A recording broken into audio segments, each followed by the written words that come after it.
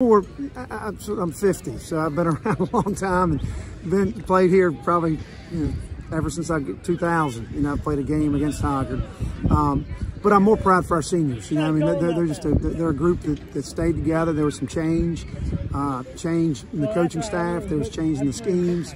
Um, you know, they, they just kept chewing on the bone and kept working hard. Uh, and you know, I'm so happy for them that they got to win a conference title. And, and did you have planned in the They said it was gonna be a big game for us, and we dominated out there.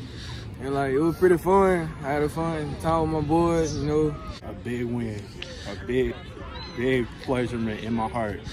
My last year, it's a lot to me. For the defense, you guys have been so good all year. Uh, you know, what was the key tonight to stopping them and keeping them just leadership. to seven points? Great leadership.